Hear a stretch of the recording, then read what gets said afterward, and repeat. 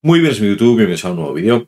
Vamos a ver esos premios Game Awards, vamos a ver qué juegos han sido los premiados, si es más o menos lo que teníamos previsto o qué es el resultado esta madrugada del 7 al 8 han sido los premios. Hemos dejado una jornada de reflexión para comentarlo, hay muchos anuncios de videojuegos que comentaremos en otro vídeo y vamos aquí a centrarnos únicamente en los premiados, en los, eh, bueno, pues los protagonistas de esta gala, de una gala que tiene muchas cosas que depurar, la verdad. Se hace muy difícil para nosotros mantenernos despiertos durante esa noche. Y sobre todo, bueno, pero esto, esto no podemos hacer nada, es el horario de Estados Unidos. Pero sí que hay unas cosas que, por ejemplo, hay premios que se dan muy rápido y que tendrían que aprender el señor Geoff y todos los que le rodean a que de alguna manera pierde mérito los premios haciéndolo así. Es decir, pueden poner perfectamente una ventanita con las imágenes de los juegos, de la gente que están los responsables de los estudios que están allí en la, en la gala, y o si no, la foto del, personal que han hecho el juego. Y bueno, a partir de ahí, pues daré el premio, ¿no? Una lista así, pam, pam, y el premio a tal es tal.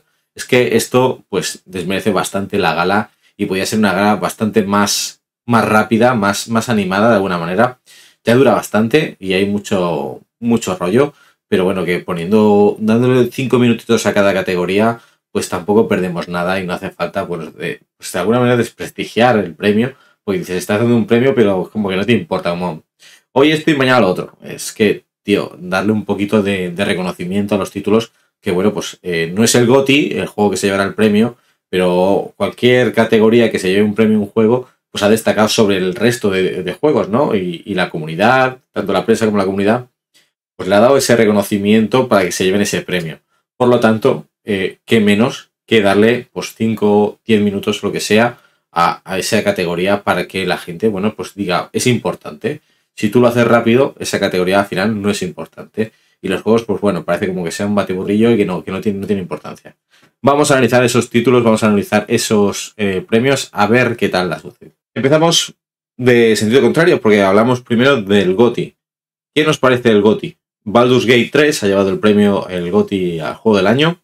Estaba nominado en Alan Wake 2, Marvel Spider-Man 2, Resident Evil 4 Remake, Super Mario Wonder y The Legend of Zelda Tears of the Kingdom. Eh, cualquiera de ellos se puede haber llevado el premio, evidentemente, están nominados, están en categorías. Y como comenté en otro vídeo que hice mi, apuesta de, y votamos eh, los juegos que a mí me parecían mejores para este año, pues yo puse Alan Wake 2. Sí que después de reflexionando dije, pues quizás es que la verdad es que Zelda es muy grande, Tears of the Kingdom es un titulazo y que perfectamente también te voy a llevarse ese GOTI. Eh, pero Baldur's Gate 3, por desgracia no lo hemos jugado, eh, es uno de los títulos de los eh, seis nominados, pues es de los dos juegos que no ha jugado, Baldur's Gate 3 y Spider-Man 2. Baldur's Gate 3 ha salido anunciado para Xbox, que eso lo comentaremos en otro vídeo, ha anunciado directamente que la versión de Xbox Series X y Series S ha salido ya a la venta en Xbox. Por lo tanto, es una buena noticia para todos los jugadores de la consola de Microsoft. Pero eh, tenemos la, cosa de que no lo habíamos probado antes. No sabíamos qué tal si jugado en PC o en, Play. Pues muy bien, pero nosotros todavía no tenemos la posibilidad de haberlo jugado. Alan Wake 2 me parece un titulazo, la verdad, pero Zelda Tears of the Kingdom, pues al tiempo, después de ese vídeo, fui dando reflexión y dije, mm, quizás tiene que haber rectificado y haber puesto Zelda. Es que Zelda es muy grande, Zelda. Es que al principio decimos, como salió hace seis años el Breath of the Wild, le dimos un Zelda. Pero es que es muy grande. Entonces me quedaba la cosita de. Y incluso antes de la gala digo, espero que se lo lleve Zelda, que se lo lleve Zelda, que se lo lleve Zelda. Bueno, realmente no se ha llevado Zelda. Igualmente es un juego que es un juegarral, que es un juegazo y que para muchos será nuestro GOTI durante este año 2023. Baldur's Gate 3 se lleva ese premio, merecidísimo, la comunidad lo ha votado, la prensa lo ha votado. Enhorabuena a la gente del área y no hay más que decir. Baldur's Gate 3 se lleva ese título. Vamos con mejor dirección. Alan Wake 2, Baldur's Gate 3, Marvel Spider-Man 2, Super Mario Wonder y, y Zelda Tears of the Kingdom de nuevo. Los mismos nominados, a excepción de Resident Evil, que en esta categoría pues son 5 los que se votaban. El título se lo lleva, el premio se lo lleva Alan Wake 2, que me parece muy bien el reconocimiento por parte de, la gente, de la prensa, pues a Alan Wake 2, que también tenga su parte de, de porción de tarta en premios y que, bueno, la dirección de la Wing 2, pues ya sabemos que es un juego muy bueno. Igual que mejor dirección de arte, que también se lo lleva a la Wing 2, por delante de Ify Rush, Lays of P, Super Mario Wonder y The Legend of Zelda Tears of the Kingdom. también merecido, pero bueno, aquí podía llevarse otro título también. Mejor narrativa Alan Wake 2, Baldur's Gate 3, Cyberpunk 2007 Phantom Liberty, Final Fantasy XVI y Spider-Man 2. Pues Alan Wake 2, que se ha llevado tres premios, eh, no se ha llevado el GOTI. Es muchas veces cuando reparten los premios así, es como, no te voy a dar el GOTI, te lo mereces, Alan Wake 2 te mereces el GOTI, pero no te lo voy a dar, te voy a repartir en otros premios y bueno, la narrativa de Alan Wake 2 pues está muy bien, la verdad. Banda sonora. Aquí sí que discrepo. No he escuchado, Final no he escuchado la banda sonora de Final Fantasy XVI. Puede ser fenomenal. Eh, me parece que si se ha llevado el premio es merecido. Pero que estuviera nominado Alan Wake 2, Baldur's Gate 3, Ify Rush y The Legend of Tears of the Kingdom, que este último tiene una banda sonora muy buena.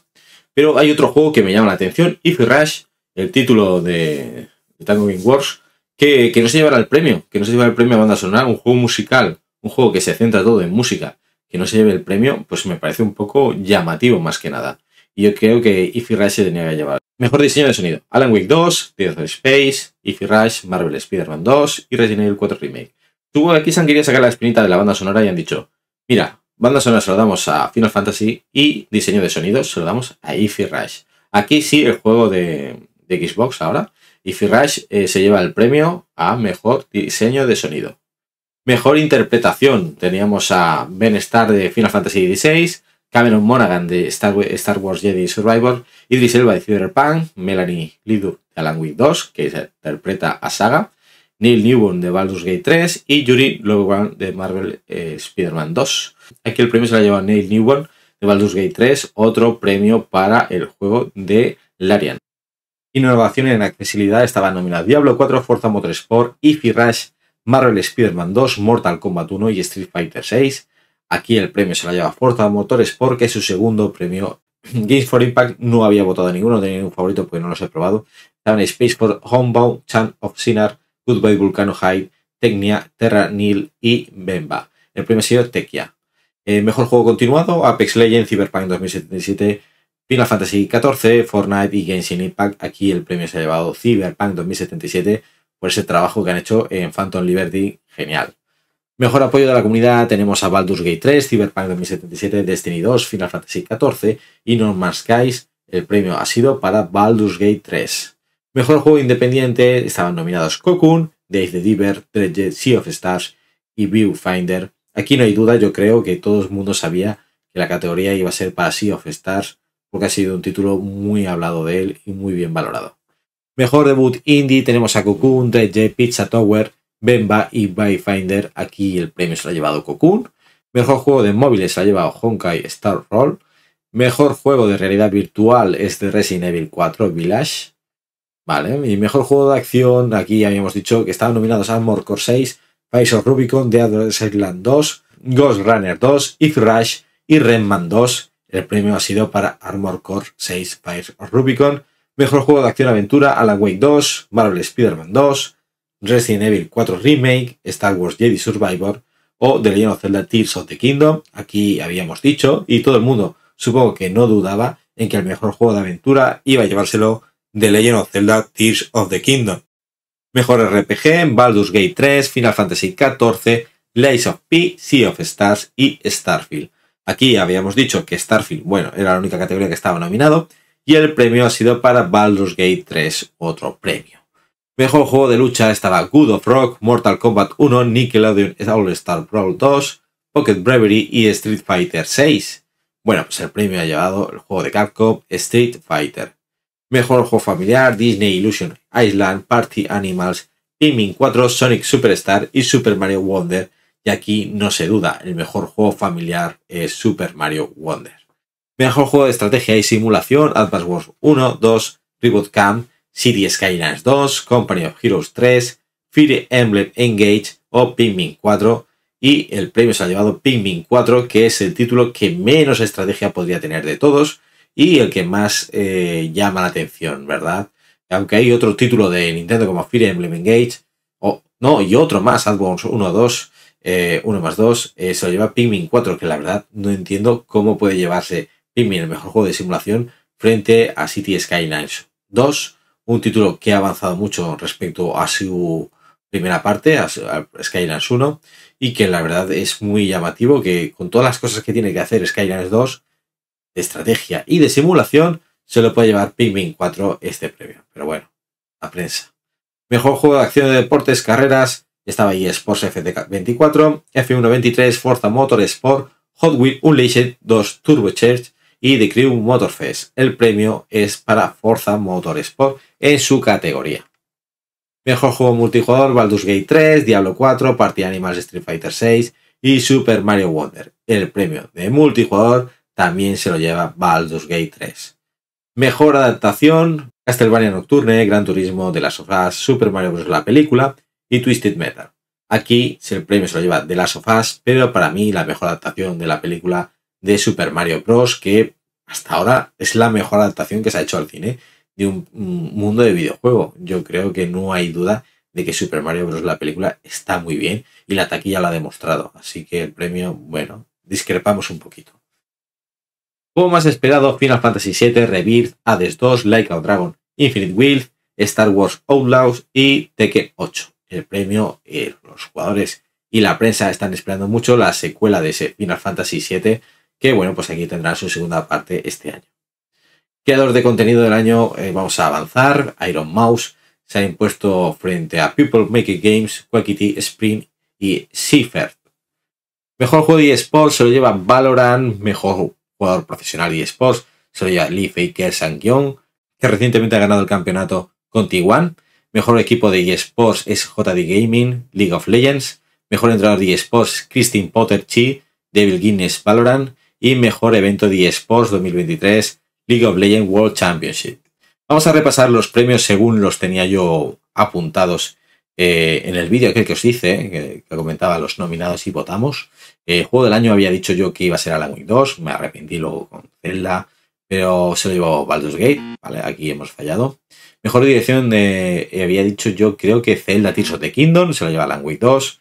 Mejor dirección de arte, eh, había dicho Easy Rush, creo. Eh, Alan 2. Aquí tengo dudas y voy a apuntarlo luego en el, vídeo para que veáis si acerté o no. Mejor narrativa Alan Wake 2. Aquí sí. mejor banda sonora o, narrativa puse a Baldur's Gate 3. Ostras, ahora lo dudo, ¿eh? Tendré que repasarlo. Pero, bueno, ahí, ahí.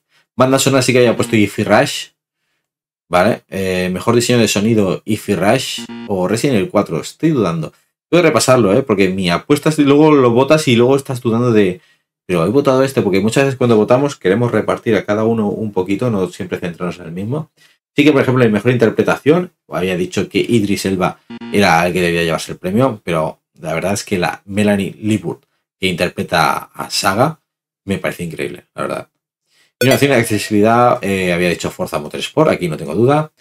Eh, Games for Impact no había votado. Mejor juego continuado había votado. Creo que sí había votado Cyberpunk. Eh, mejor apoyo a la comunidad. No sé si había votado, sí, había votado. Eh, sí, Baldur's Gate 3, creo. Mejor juego independiente de Sea of Stars, esto está sí que sí. Mejor debut indie Cocoon, también sí o sí. mejor juego de realidad virtual, creo que habían hablado de Resident Evil Village, no sé si lo había votado. mejor juego de acción Armor Core, eso sí o sí. Mejor juego de aventura, Zelda, sí o sí, también había dicho. Mejor RPG había votado Starfield porque, como no está nominado en otra categoría, solo estaba en esta, la había votado, pero tenía seguro que Baldur's Gate 3 iba a llevar este premio. Mejor juego de lucha, había dicho Street Fighter 6, sí o sí. Mejor juego familiar, eh, Super Mario Wonder. De los nominados, Super Mario Wonder es el mejor juego familiar, sin dudarlo. Mejor juego de estrategia, eh, City Skylines 2, había votado. Por lo tanto, eh, ahí discrepo. Mejor juego de deportes, Forza Motorsport, realmente. Mejor juego multijugador, eh, no sé si que había votado, si había votado Mario Wonder. Eh, o Party Animals, uno de los dos. Pero Baldur's Gate 3 no lo había votado. Mejor adaptación, Super Mario, la película, como hemos mencionado. Juego más esperado, Like a Dragon Infinite Will. Un título que espero mucho. me acabo de pasar Like a Dragon Gaiden. Titulazo. si tenéis la posibilidad, jugarlo antes de la continuación de la historia de Kasuga porque mola mucho la otra visión de Kiryu cuando se junta, cuando se cruza con, con Kasuga. Y la verdad es un juego que es bastante rapidito y que no te vas a aburrir. No te vas a aburrir jugando a la Dragon Gaiden. Es un juego bastante bueno. De lo que salió de un DLC, pues mira, hicieron un juego y ha salido bastante bien el juego. Es decir, se agradece cuando ponen un poquito de mimo y un juego que además han dicho que han hecho en seis meses. Es decir, si en seis meses hicieron esto, no me puedo imaginar lo que habrán hecho con Infinite Wild, que, llevan pues tres años haciéndolo. La verdad es que estoy esperando bastante ese título de la historia de Kasuga. Pero es normal que el juego más esperado eh, de la prensa y de la comunidad pues sea Final Fantasy VII, porque tiene muchos más fans y es mucho más grande que, la historia de la Dragon. Aunque para mí, la verdad es que no. Dejadme en comentarios qué os ha parecido a vosotros esta gala, qué os ha parecido los premios. Gente que cree que Spider-Man 2 debería haber llevado algún premio. Para mí, estar nominado ya es un premio. Eh, hay juegos que creo que deberían de estar muy nominados, como Hogwarts Legacy o Starfield. Eh, Starfield será en una categoría, pero es que lo de Hogwarts Legacy me parece tremendo que no esté en ninguna categoría. Porque la verdad es que para mí Hogwarts Legacy lo que le falla es la historia, pero el apartado gráfico no podemos decir que Hogwarts Legacy es un juego normalito, porque Hogwarts Legacy está muy bien hecho. Quizás, y lo digo, la trama de Hogwarts Legacy, si hubiera estado un poco más cuidada, que no está mal, ¿eh? Pero si hubiera estado un poquito más cuidada, eh, hubiera sido un titulazo y yo creo que se merecía estar nominado en los Game Awards. Otros títulos como Starfield ya lo hemos mencionado, y bueno, pues estar nominado solo en una categoría ya, ya es un premio. Por ejemplo, Resident Evil 4 Remake es un titulazo. Lo he disfrutado de principio a fin. Eh, lo he disfrutado como en su primer día en la GameCube cuando salió de lanzamiento, que lo compré. Y, la verdad es que estar nominado ya es un premio para el Resident Evil. ¿Qué pensaríamos si Resident Evil 4 Remake se llevara el premio del juego del año? ¿Que los juegos que están saliendo ahora nuevos no merecen la pena? ¿Que tenemos que jugar a hacer remakes de las anteriores? Pues evidentemente no. Entonces, eh, que Zelda nos ha llevado el premio le peca de Breath of the Wild. La gente no ha votado a Zelda porque bebe mucho de Breath of the Wild, que es un juego bastante más grande y bastante más amplio y, con más historia que Breath of the Wild. Pero la gente recuerda que Breath of the Wild se llevó el premio hace seis años. Entonces dices, no, vamos a votar al mismo juego de alguna manera para que se lleve el premio. Y es lo que le ha pasado también a Spider-Man 2. La gente lo ve como un DLC, y entonces la gente no quiere que, ese juego se lleve el premio porque parecen como que son tan continuistas de la primera entrega o de la anterior entrega que no quieren que, sea el premio. Además, Baldur's Gate 3 yo creo que es merecedor de llevarse ese premio porque es un título que, bueno, la comunidad lo ha recibido bastante bien. Estoy deseando probarlo, la verdad, cuando tenga algo de tiempo lo probaré y, lo jugaré, a ver si es realmente como, como pinta. Pero vamos, que discrepo bastante de decir que, bueno, que Baldur's Gate no se merecía el premio frente a Zelda Además, si se lo ha llevado, pues perfecto para él.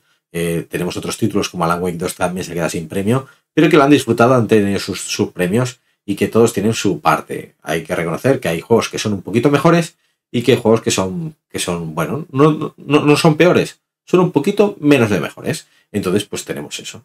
Bueno, cosa más que hay, gente. Espero que os haya gustado este vídeo. Sabéis, suscribiros al canal para más y nos vemos en el próximo. Hasta pronto.